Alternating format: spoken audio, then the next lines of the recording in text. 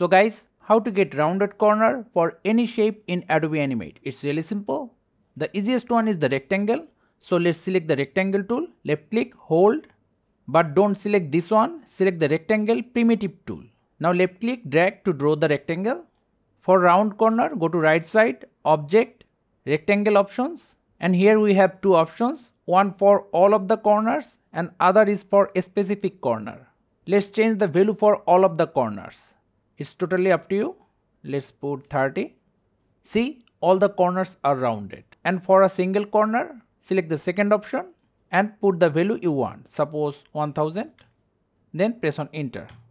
See, it's really that simple. So how to do it for any shape? Select the pen tool, create a triangle Hold Ctrl, middle mouse scroll to zoom in.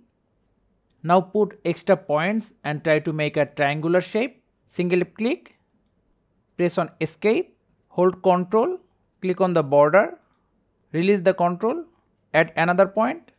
Again, press on escape, same hold Ctrl, click on the border.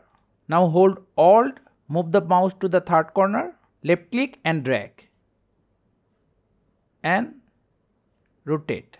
Try to make it parallel with these two points. Now hold Ctrl and move this point closer like this.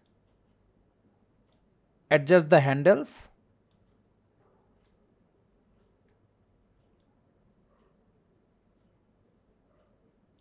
Now zoom out. See, we have our rounded corner. So guys, that's how easily we can have rounded corner in any shape in Adobe Animate. Thank you guys for watching. Have a good day.